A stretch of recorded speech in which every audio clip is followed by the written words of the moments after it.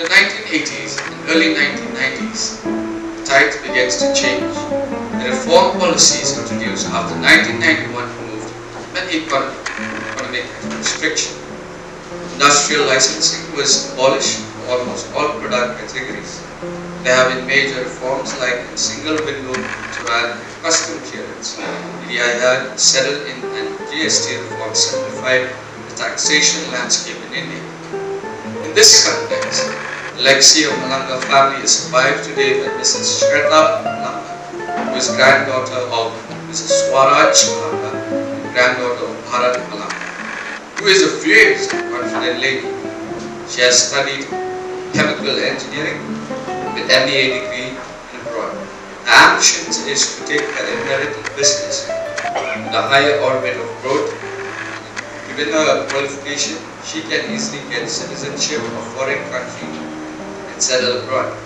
But something is binding her to the India of dreams. She has a vision and mission.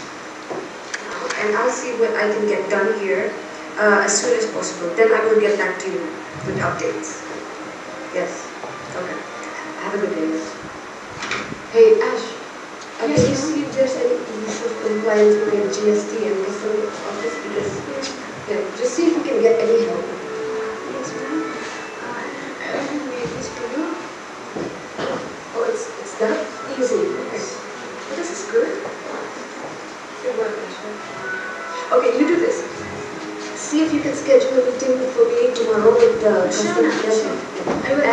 And-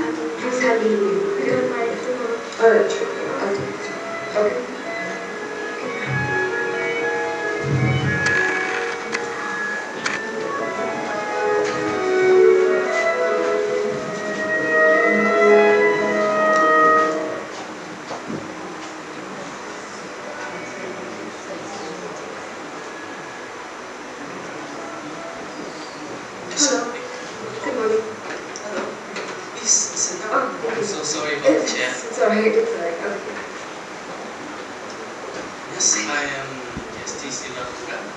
How can I help you, ma'am? Okay, I'll get straight to the point. Uh, so I came here because um, my company, Yes. Is registered in Gujarat. But I want, um, I want to have units, you know, in all the states all over of India. I want to know what I can do to get there and what I have to do in documents. and- Okay, ma'am, let me just check some documents. I do believe there is some uh, government departments that will you with that. See. Here ma'am. If you look over here, there are some utilities of enabling schemes of government. They will help you out with setting up new businesses in India. And for the registration and and all, this office will help you out with that. And we will also help you with the filling of the returns and compliance, ma'am. Oh, great. Okay. okay. And um, so in that case, then I think it's possible because I want to, um, I want to have an offshore export unit as well. Sure. Yes, yes. So I can transport my goods, you know, uh, from Western India as well as Eastern India to Africa. Now I want to do the same thing with China as well. Africa and China. Okay, let me just contact with the Great Destination You will help you out with all the assessment. Hello. Yes, uh, can you put up with the CEO, uh, with the customer office, please? There's one of them, uh, there's a woman over here who likes to talk about paints and all. Yes, yes. Thank you, thank you. Hello. Hello, hi ma'am. Hi. Yes, how can I help you ma'am? So I just need to get some information about, you know, offshore export units.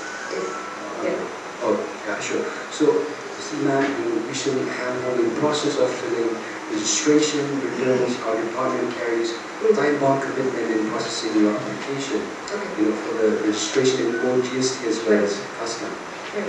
Yeah. And also the follow-up and tracking is also enabled online, so you, need you know, visit the office. So, yeah. Even for filling uh, of returns and bills of entries or shipping bills, the GST, you know, tax practitioner and the CHA, you know, are being regulated by the, you know, government, so they're operating as per ethical codes, you know, of conducts and rules.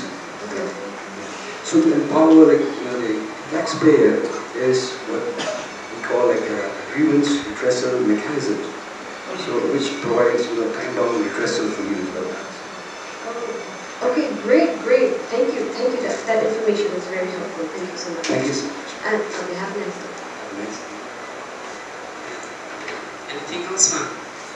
Uh, that was very helpful. Thank you so much. But, Glad to um, hear that, ma'am. Okay, let's be honest here. Um, how much extra legal money do I have to pay over the table, under the ta- the table, just to get this done? Like, like, No, ma'am. We are bound to our pledges, ma'am. We cannot take any extra legal money. And for your information as well, uh, under the new act that has been passed out, any form of extra legal money is considered as a bribe under the prevention prevention of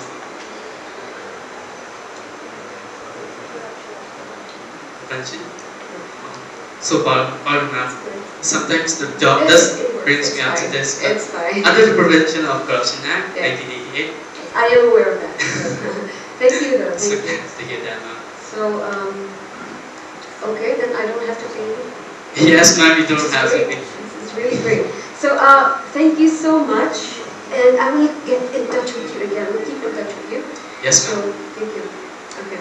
Have a great day, ma'am. You too.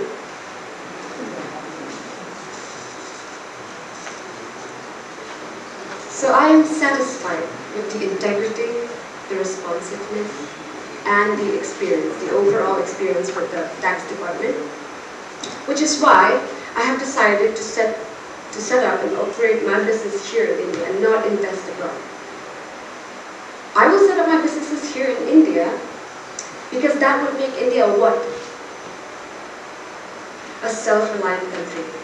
I will also pay my taxes the Indian government because this country is here today because our forefathers fought very hard, very hard for it, to build it, to create it.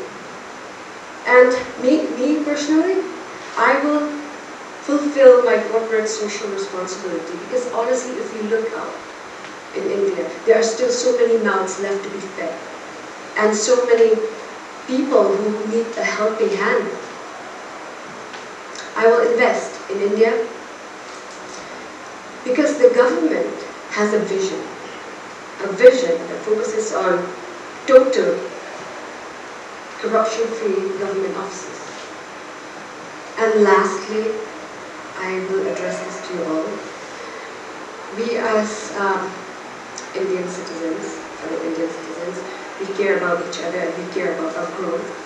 So we will vote in India and we will make India great.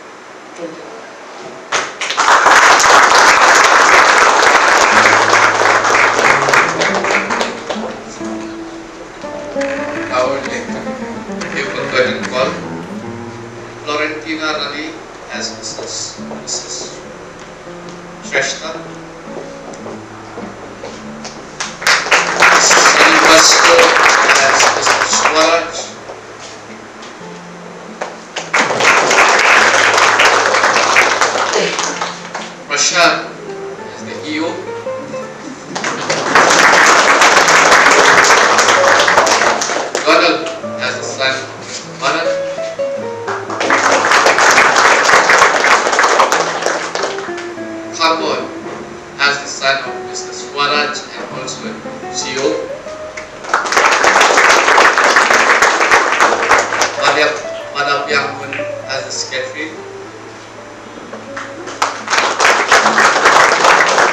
And Raisa